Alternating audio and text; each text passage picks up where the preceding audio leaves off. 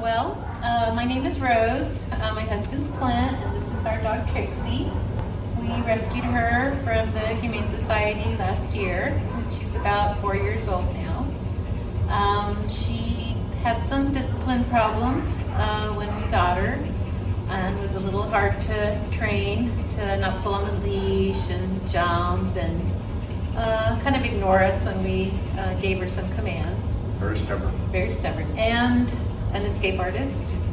So um, I looked around for a place to help us and I found Bulletproof on the internet and I really liked the training videos that they had loaded on their website. Um, and so I decided to bring Trixie here. She's been here for about 15 days. And my husband and I spent the morning today with her and the trainer Colton, who's been awesome. And uh, Trixie is doing really well. I can really see a huge difference in her behavior, but I can also see that we're gonna have to keep uh, on her and keep her uh, used to uh, getting. Uh, The, the training will continue.